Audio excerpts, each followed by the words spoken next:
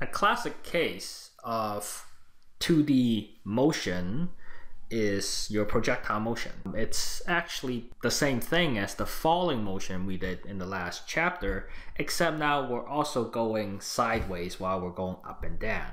Again, physics textbooks tend to gravitate toward these kind of questions because the only acceleration involved is the constant acceleration due to gravity, which is always 9.80 downwards. Given the constant acceleration, the problems tend to be quite simple to analyze, and therefore, it's a good way to introduce how to deal with uh, 2D motion.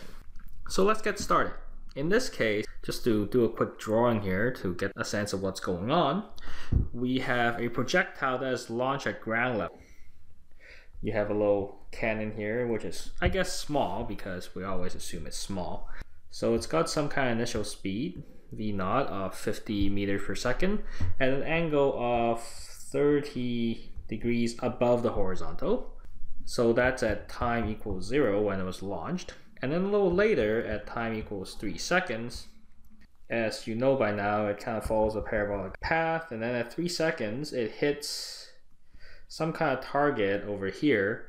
And we're interested in what is my y position at that point and what is my x position when it hits the target at 3 seconds.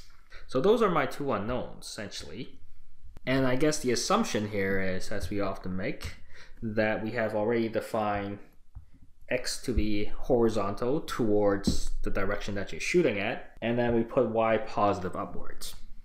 And of course, we know through this whole time, the acceleration that is at play here is only the acceleration due to gravity, denoted by little g. It's going downwards at 9.8 meters per second square. Being a 2D motion problem, again, the approach is to split it up into your two orthogonal axes, x and y, and treat them separately. Recalling from kinematics that we did in the last chapter, we have this equation. The position of some time later is equal to the original position plus the original speed times technically some kind of delta time plus 1 half a delta time square. We'll drop the delta because the t is starting at 0 here. And then we have to just rewrite this equation in terms of x and then in terms of y, and then filling in what we know and what we don't know. So for the x, let's use x instead of d, and it's x3 because it's x at 3 seconds, plus x at 0 second, plus the original speed in the x, that's where subscript starts to really count because we have multiple speeds now, plus 1 half a also in the x, times t squared. Similarly, for the y, we have y naught plus v naught y times t plus 1 half ay t squared. In both of these equation, time is the same, but everything else is different, and they are independent. What kind of information can we fill in? Well, we can say that x naught is equal to 0. We can define that. We can define y naught to be 0. Hmm. For projectile motion kind of question, because the projectile is not touching anything else as it flies through the air, so it's only affected by gravity, so the sideways acceleration is also 0, so we have that. AY we already talked about being downwards, as y is positive upwards this will have to be defined as negative 9.80 meters per second square. And then we also need to know VOX and VOY. Let's get a little more space here. Again, the uh, decomposition, we've done this before.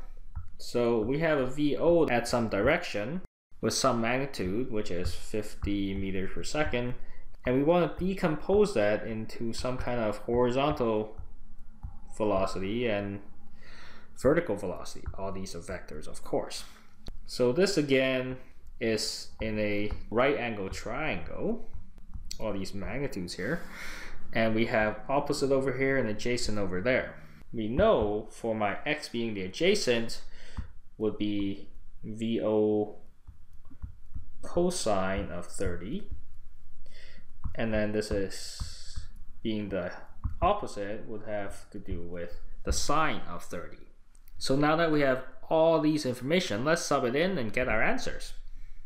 Or the x position at 3 seconds. We sub in everything. x0 was 0 plus v naught cosine 30, that's my v naught x, times my t plus 0 again because ax is 0.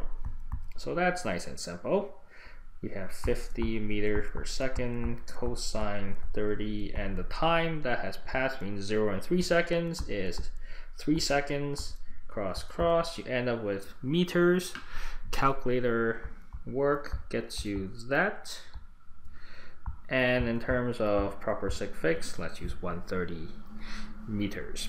Then for my y, Again, y naught is 0 plus v naught sine 30 degrees times time plus 1 half ay t square. Getting a little more space. It's equal to 15 meters per second sine 30 times 3 plus 1 half negative 9.80 meters per second square times 3 second all square. Units, those cancel out, and we end up with meters once again. Giving us 75 meters over here, mine plus a negative 44.1 meters, giving us 13.9 meters. So to answer the question, the x and y distance is 130 meter and 30.9 meters respectively. Not too heavy duty as long as you pay attention to which numbers corresponds to your x and which numbers corresponds to your y.